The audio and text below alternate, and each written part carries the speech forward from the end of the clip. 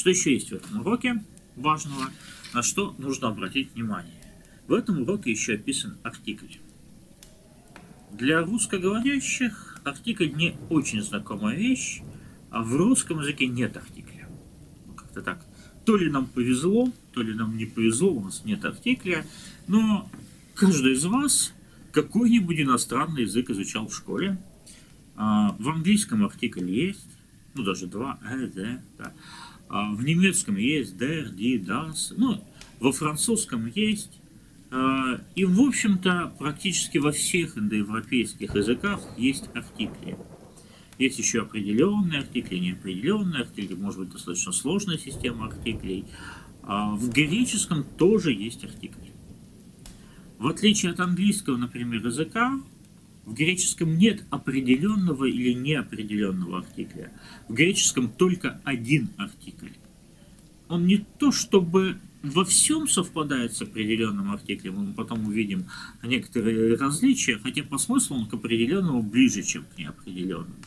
А, но он там один, поэтому хотя в некоторых книгах греческий артикль называют определенным артиклем, ну просто по аналогии с английским, это не совсем верное название. Слово определенный вот в контрасте возникает. Есть определенный неопределенный два. А в греческом просто один артикль и все. Поэтому проще о греческом артикле говорить как об артикле. Зачем артикль нужен в языке? Или, может быть, зачем артикль нужен в греческом языке? А главная причина употребления артикля вот в чем. Добавляя к слову артикль, то есть есть слово, и перед ним ставится артикль, так вот, добавляя к слову артикль, говорящий сообщает слушающему, что он ведет речь о понятии или о предмете, известном ему самому, и как он надеется известным слушателю. А, смотрите, артикль показывает, что говорящий ожидает, что слушатель догадается, о каком предмете конкретно или о какой концепции конкретно идет речь. А как он может догадаться? а в каких ситуациях вот это вот догадывание происходит. Но первая ситуация, когда что-то упоминалось в предыдущем контексте. То есть мы э, читаем, например, в Библии э, какую-нибудь историю, и в этой истории, когда появляется новый предмет, новый персонаж, э, то при его появлении он первый раз упоминается без артикля. Вот кто-то появился и все. А потом, когда второй раз а, упоминается этот же персонаж, он упоминается с артиклем а, по той причине, что а, читатель уже в курсе, о ком или о чем именно идет речь. Вот я просто вспомнилось, открыл четвертую главу Евангелия от Иоанна. Помните известная история, разговор Иисуса с женщиной-самарянкой у колодца. И вот седьмой стих. Эх, это игуне эктес самаритеас. Приходит женщина из Самарии и так далее. Видите, слово гуне, это греческое слово женщина, без артикля. А, читаем текст дальше. Смотрим, например, 9 стих. Леги он ауто хегунехе самаритес. А хе перед словом гуне это артикль. И хегуне, а, тем э, употребив артикль, говорящий сообщил что речь идет о той же самой женщине, которая уже известна а, слушающему эту историю. То есть, смотрите, первое упоминание без артикля, последующее упоминание с артиклем. То есть артикль показывает, что а, речь идет о чем-то уже упомянутом ранее. А иногда, как вот в случае Гуне, есть слово Гуне без артикля, потом с артиклем, но в принципе язык греческий более гибкий и не обязательно должно употребиться точно то же самое слово, возможно, и употребляется, упоминается концепция, э, упоминается какое-то синонимичное слово, а потом уже а, второй раз, когда о том же самом идет речь, а, употребляется артикль. Давайте вот такой очень, мне кажется, красивый пример посмотрим. А, известнейший текст из второго послания Тимофею, когда апостол Павел сначала в конце третьей главы говорит о Писании, смотрите, 16 стих 3 главы, «Апасаграфе, теопнеустос, кай, офелимус, все Писание вдохновенно и полезно» и так далее. А потом в, четвертой, в начале четвертой главы он там заклинает пред Богом и так далее. Тимофея, второй стих посмотрите. Керуксон тон логан. Проповедуй слово. Тон логан – это слово логос в винительном падеже. Уже знаете эту форму, видите, не ню окончание винительного падежа. А тон – это артикль перед словом логос. Проповедуй слово. Какое слово? Ну, если слово с артиклем, то понятно, какое слово. А, слово упоминавшееся, слово известное – и ближайшее упоминание. Все Писание богодухновенно и полезно. Проповедуй вот это самое слово, о котором только что шла речь. А, разрыв глав и отсутствие артикля в русском языке нам не всегда позволяет увидеть эту связь, но когда вы читаете по-гречески, периодически важно задаваться вопросом о том, зачем здесь артикль. Ну, часто очень банальная причина, как в случае с женщиной-самарянкой. Эта женщина уже упоминалась, и вот теперь она дальше упоминается с артиклем. Но иногда мы замечаем вот такие вот детали, которые чуть лучше помогают нам а, разглядеть ситуацию. Артикль указывает, что-то упоминалось. Это самая часто встречающаяся причина для употребления артикля – иногда артикль употребляется не потому, что что-то упоминалось, но что-то вот сейчас будет упомянуто. А, иногда артикль употребляется а, потому, что что-то наличествует на момент речи.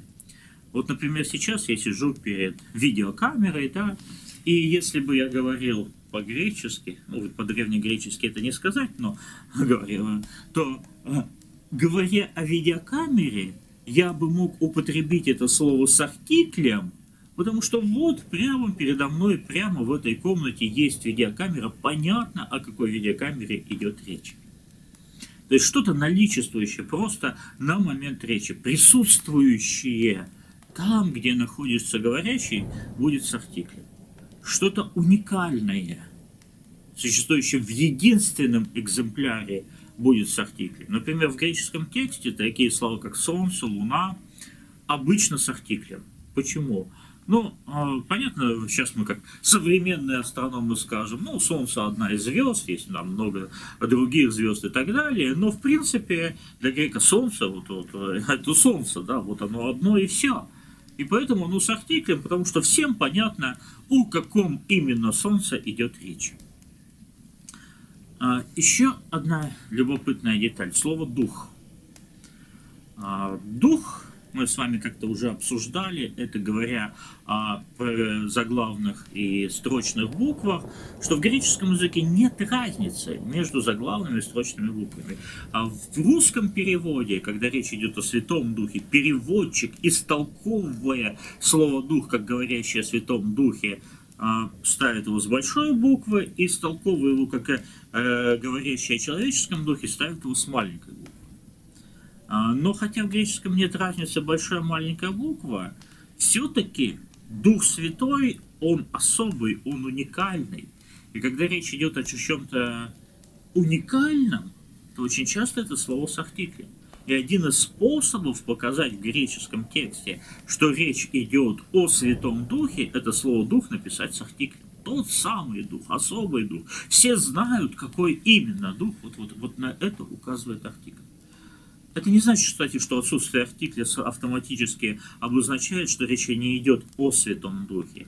Есть достаточно сложные правила, а, грамматические, когда можно или нельзя употреблять артикль, и эти правила не предмет данного года обучения.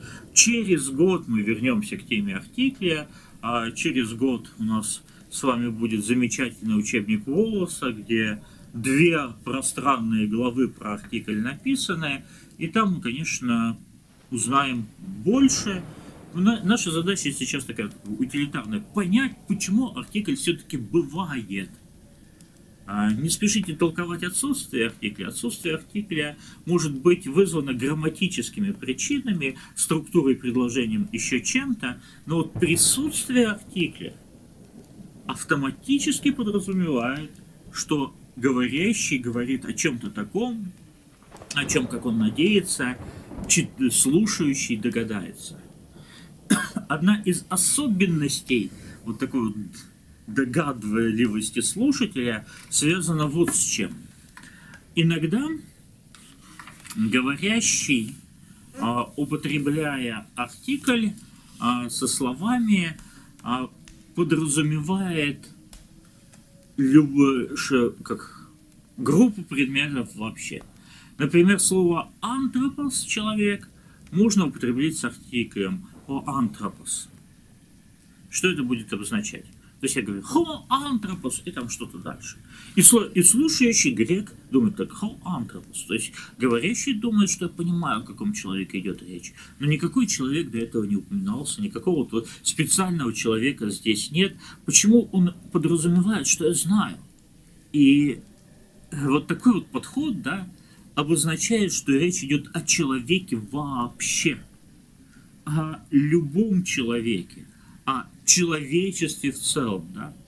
Вот артикль, а, он анализируется следующим образом. То есть встретили артикль и думаете, так, упоминалось ли в тексте, присутствует ли на момент речи, является ли чем-то уникальным, нет, нет, нет, но артикль все-таки есть, а, значит, вообще о любом человеке в принципе. То есть артикль может употребляться либо для обособления какого-то конкретного известного предмета, либо для обобщения, то есть вообще любой человек, вообще все люди в целом.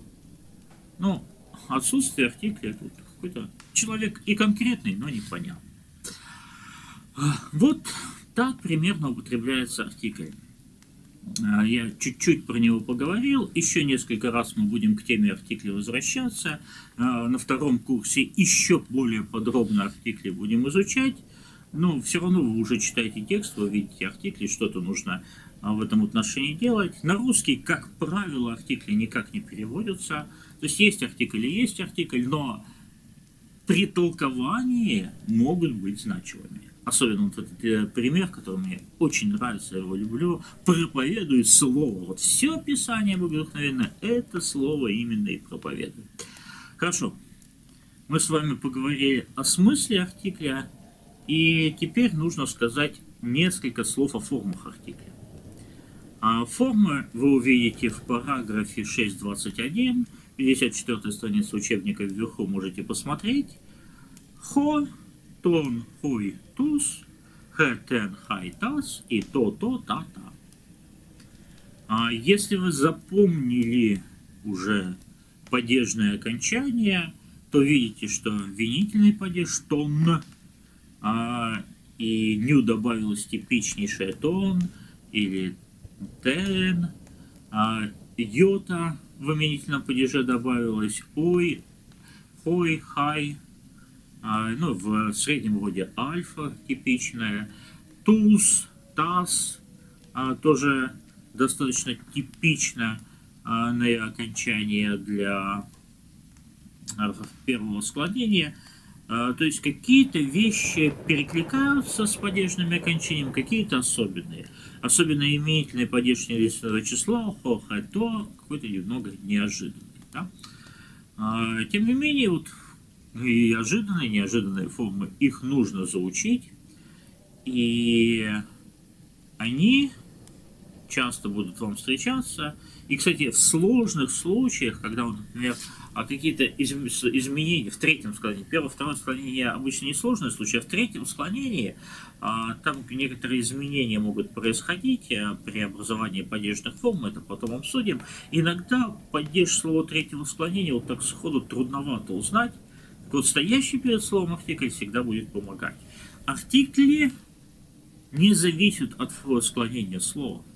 То есть артикль женского рода будет всегда «х», независимо на альфу заканчивается слово, на эту заканчивается слово, или в третьем склонении заканчивается оно на какую-нибудь согласную йоту или еще не пойми на что, артикль всегда будет «х».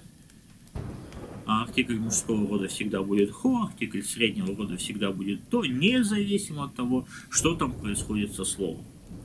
И в параграфе 6.23 а, вы можете посмотреть слова вместе с артиклями хологос, тон логон, хой логой, туз логус. А, и видите хэ графе, хэ хора. Видите, хэ графе, хэ хора, артикль все равно хэ. Да. Тен графен, тен хора. Артикль все равно никак не зависит от особенностей слово, поэтому вот э, если вы хорошо знаете артикли, они всегда, для, они со многими словами встречаются, они всегда будут хорошей подсказкой для вас. Ну, еще просто одно попутное замечание. При заучивании артиклей вы видите именительный падеж хо, потом тон, хой, туз. Если вот при дыхании буквы Т как-то представить себе как немного взаимозаменяемую, может быть, это какая-то будет подсказка а, при заучивании артиклей. Итак, что у нас есть? Вы знаете какие-то слова, вы знаете падежные формы, именительный падеж, винительный падеж, единственное число, множественное число, вы даже познакомились с артиклями. Все это подводит нас к тому, что потихонечку можно что-то, ну, учебное предложение, конечно, начинать переводить. Вы пока не знаете глаголы, глаголы вам будут подсказываться, но мы начинаем Э, начинается работа над переводом. А как вы работаете с переводом? Разбиваете текст на предложение, на, на слова. А, артикль оставляете вместе с тем словом, к которому он относится. Разбирайтесь с каждым из этих слов, разбирайтесь с ролью каждого слова, что там подлежащее в именительном падеже, что дополнение в именительном падеже, и собираете все это в предложение на русском языке. Ну, чуть попозже мы подойдем к рабочей тетради и к домашнему заданию по переводу, и там на все на это посмотрим.